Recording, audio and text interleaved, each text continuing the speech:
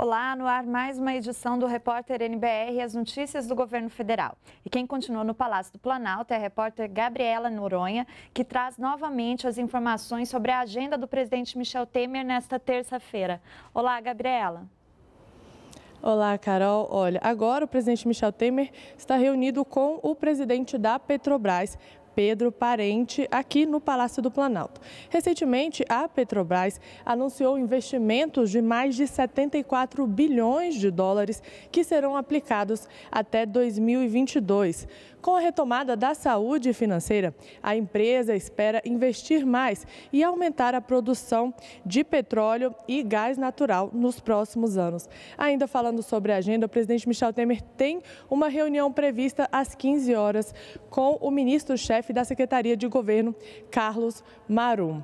E agora falando sobre o final de semana, né, o presidente Michel Temer fez um pronunciamento em cadeia nacional de rádio e televisão eh, e voltou a defender a reforma da Previdência. Além disso, o presidente também fez um balanço do governo em 2017 e disse que a economia já dá sinais claros de recuperação. Vamos ver um trecho desse pronunciamento. Em um curto espaço de tempo, colocamos a economia em ordem, saímos da recessão e temos as taxas de juros mais baixas dos últimos anos. O risco Brasil diminuiu e os investimentos estão de volta. A Bolsa de Valores registra alta após alta. O Produto Interno Bruto também. A safra agrícola quebra recordes. A inflação está abaixo do piso. A balança comercial atingiu um superávit histórico. A indústria e o comércio dão sinais claros de revitalização.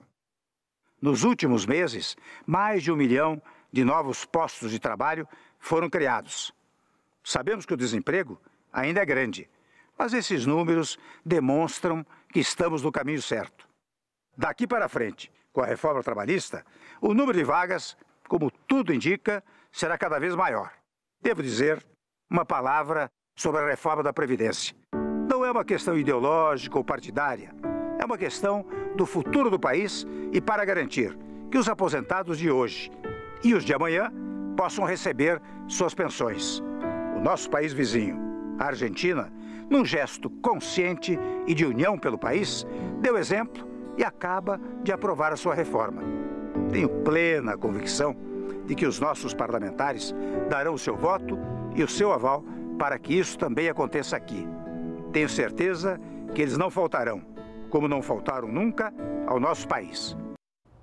O prazo para o saque do abono salarial de 2015 acaba na próxima quinta-feira. Segundo o Ministério do Trabalho, até o final do mês de novembro, 1 milhão e 400 mil brasileiros com direito ao benefício ainda não haviam sacado dinheiro.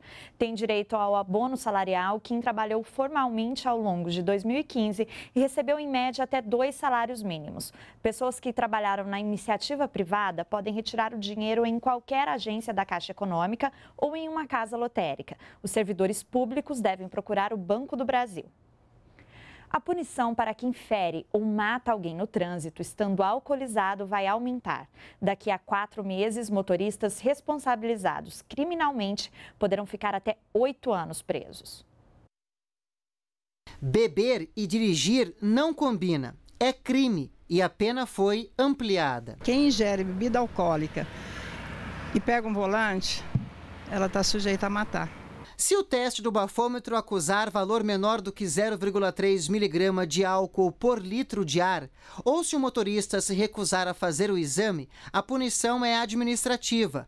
O condutor fica com a habilitação suspensa por um ano, paga multa de quase 3 mil reais e tem o veículo retido já se feriu ou matou alguém sob o efeito de álcool, além da punição administrativa, o motorista pode responder por três tipos de crime. Em caso de lesão corporal, a pena varia de três meses a um ano de prisão. Para o homicídio doloso, quando há intenção de matar, a pena varia de 6 a 20 anos de prisão. E a punição mudou para os homicídios culposos, sem intenção de matar. Antes, a penalidade variava de 2 a 4 anos de prisão. a punição passa a variar de 5 a 8 anos de prisão. Acho que essa, inclusive, é a forma correta de se punir. Ao invés de punições administrativas muito gravosas ou criminais, inclusive, pelo só fato, pelo perigo abstrato de se ingerir bebida alcoólica e não causar resultado nenhum, se pune alguém que causa um resultado, um resultado lesivo, um resultado de fato. Nós acreditamos que toda mudança que vem no, no Código de Trânsito Brasileiro em proteção à vida, ela é importante e, e, vale a pena. Né? Nós acreditamos muito nas ações de prevenção, nas ações que, que aconteçam antes que aconteçam os acidentes.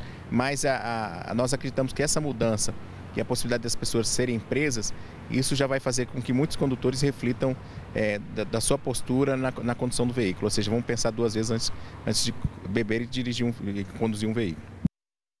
O índice de preços ao consumidor semanal, IPCS, desacelerou na terceira prévia de dezembro e passou para 0,27%. Segundo a Fundação Getúlio Vargas, três das oito classes de despesa apresentaram queda, com a maior contribuição do grupo Habitação.